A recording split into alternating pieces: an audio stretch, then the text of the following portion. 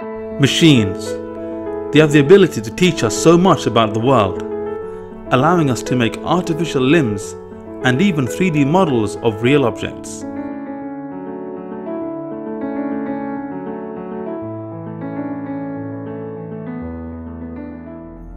But with technology advancing so fast, without the right guidance, mankind may be led down a darker path, where machines are used as a destructive force. Nuclear weapons already exist, and we may soon see humanoid soldiers who are programmed to seek and destroy. This is the day of reckoning.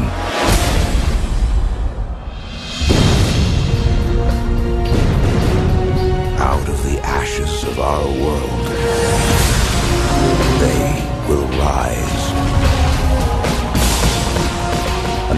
generation of Terminator. Designed to annihilate the human race.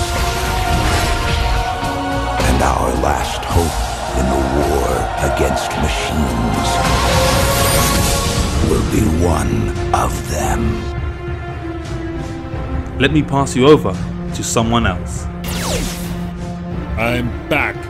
My mission is to warn teachers and educators we need to prepare students for the future by training them on how to use technology in the classroom.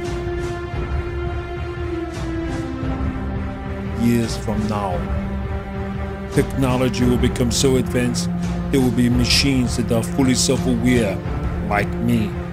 When this happens, humans will try to pull the plug, but it will be too late. The survivors of the nuclear holocaust will live to face a new nightmare the war against the machines. After 30 years of fighting the machines, humans barely escaped extinction.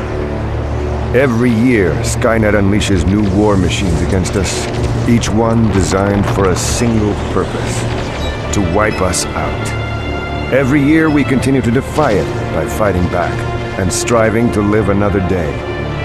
Some look on me as a messiah, John Connor, the warrior prophet come to lead humanity to victory. If they only knew what I knew. If we're too late to stop Skynet, I have a backup plan. From the future, we've sent a teacher, a lone warrior through time.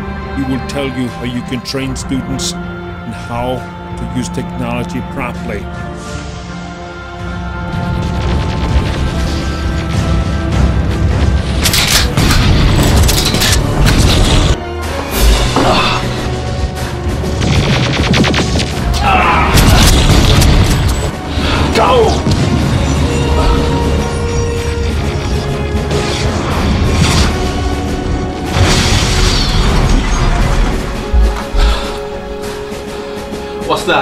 Skynet, we need to go there. We can send you to the past. Aslom, it is time.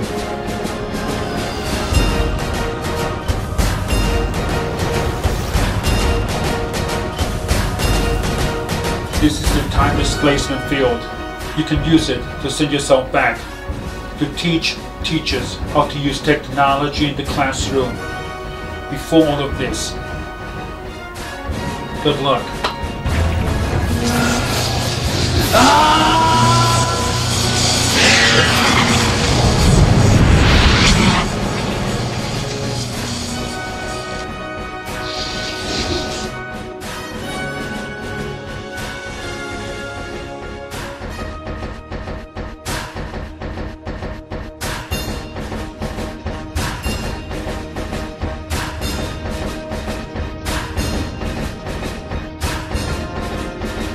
So please welcome Mr. Aslom Ullah.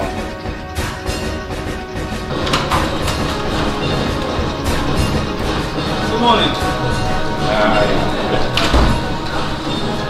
The uh.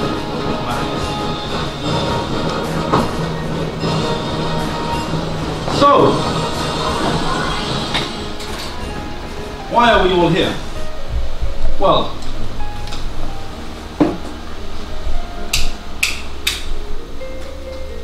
we're here for one reason. We're here because we all value creativity. We all want our students to do rather than just to remember. We spend so much of our time as teachers and educators preparing our students for the world that's outside the classroom.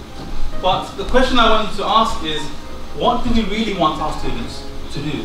When they face a problem in the real world, do we want them to try to remember something from school that they can use to solve themselves out of a problem? Or do we want them to try to think creatively? Try to think creatively out of a problem. I would argue that this is what we want our students to do. But in order to do that, we need to expose our students to all the technology that they see around. When you expose a young person to some technology, the results are astounding. It'll, they'll surprise you time and time again with what they can do. A lot of technology that's all across this room. How does it link to learning? I'm going to get us to try some of them as well. How does it link to learning? How does it link to the pedagogy of learning? Well, we talk so much about Bloom's taxonomy, right? We talk about how we want our students to go from remembering to understanding to then applying that knowledge, analyzing and evaluating. However, the creative process turns that on its head. Students start with creating. Rather than creating being at the top of what they do, rather than coming at the end of a lesson, when they start with creativity, they then go on to evaluate what they've created. If it's an app, if it's a Lego robot. When they've created, then they can evaluate. Immersive technology that integrates multiple components into a single, all-in-one device. A projector, 2D and 3D cameras that bridge physical and digital realities. A 2-inch touch mat replaces the traditional keyboard and mouse. This is the Sprout Pro by HP. In schools, this will allow students and teachers to scan in real-world objects and then manipulate them in the digital world. This will allow students to manipulate those objects once they are scanned in. Students can even scan in pieces of artwork that they've created in the real world and then manipulate them further in the digital world. Students can even learn from these in the classroom watching step-by-step -step guides created using the software itself.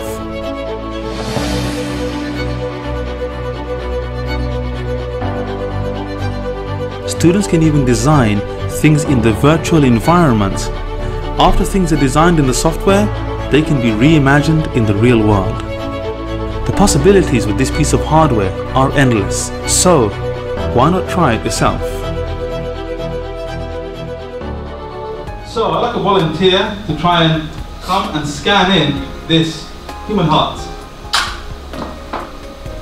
Who would like to come and you can come to the machine, all, you've got to do is rotate the heart and you will see it scan into the machine in real time. Yes, you have a go? Please, um, madam, come and have a go. So what she's going to do, as I described what she's about to do, she's about to scan in this 3D object so that she can then manipulate it in the digital world. Once that piece of slowly anything, an object from the real world, once it's scanned in, you can edit it, you can manipulate it in the software itself. If you're making a video game, you can put it into a video game. There's a young girl I've seen use it, she's aged five, okay, and she takes it and she puts it into her drawings in Paint 3D. Paint 3D now allows you to use three-dimensional objects. I'm working with Veative Labs and with Tebian, and we are putting together hardware and software that's linked to learning. These Veative Labs virtual reality goggles, which some of you are about to try out, have within them 450 modules for STEM subjects.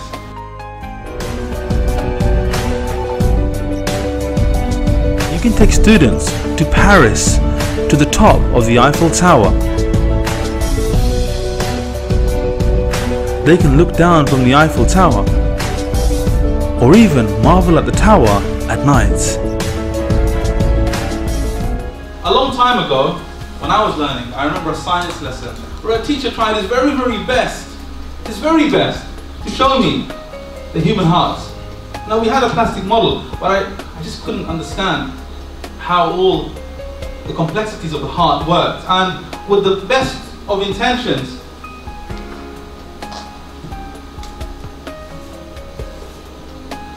this wasn't really as helpful as it might have been. Okay, so as you can see, my phone's in camera mode. Once I put it across, The heart is the center of the cardiovascular system. It is a hollow cone shaped four chambered organ that pumps blood throughout the body. The structures that play a significant role in the functioning of the heart are the four chambers. The major blood vessels attached to the heart and the four valves. Let us learn more about the human heart. So once you have the virtual reality goggle on, it's in demo mode and you'll be in a virtual environment. You can use this control to navigate around the room. Okay, you can stay seated, it's okay. You can walk around in real life, but because we don't want to bump into each other, okay, you can use this to move around the virtual room and choose a unit.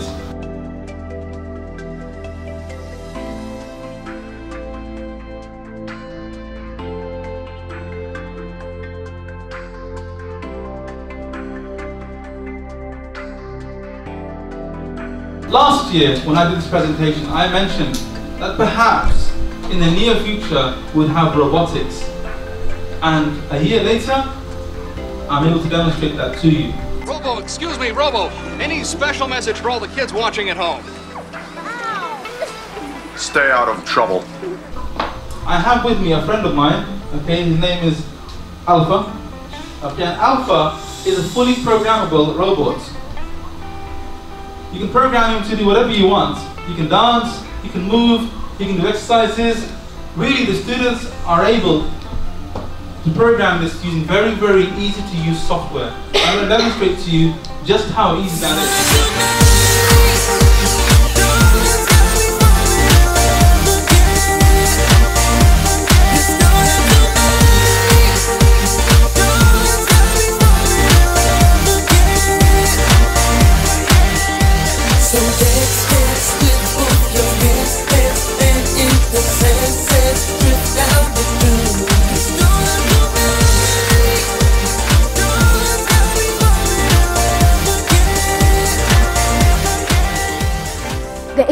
Was definitely amazing. Like you had to do fun activities like climbing a roller coaster. Like it's just a nice thing to do because it actually makes you more interesting in your learning experience and stuff like that. And it makes concepts very easier to understand and everything. And I like the fact that you did something fun yet you're learning at the same time. And I feel like visual learning visually is better than you know studying from everything. I just had fun. She's got thoughts sparking all over her head and she's enjoyed the learning process. Not only that, the learning process has been linked to the real world, it's been linked to technology, and the future is technology. I always talk to my students about Steve Jobs, about Bill Gates, and I say that they can be the future Steve Jobs, the future Bill Gates. Why not? Why not? But we have to give them those examples of innovation. We have to be innovators ourselves. The first step in teaching students to innovate is that we have to be the ones who are ready to build ourselves up to the next level. We have to be the ones who are prepared to learn about new pieces of technology that we can take to our learners so that they can experiment with those new pieces of technology for themselves. And I understand, I understand it can be quite difficult and quite frightening. But when we do that, we find our students will follow. They will follow us so that they too are learning about those new pieces of technology that we show them. To the point that we can take learning online through things like Microsoft Teams. I didn't get here by myself. I had a lot of help. I had people that uh, encouraged me. We are there for the kids to assist them. And they have to do their job. It's a partnership. I always tell kids the most important thing is to have a goal and to have a vision. We will be there to help you make this vision become a reality. I look at the future with a sense of hope and optimism. Because if an actor that played a machine, a Terminator, is able to advocate on the importance of education, then maybe we can too. жду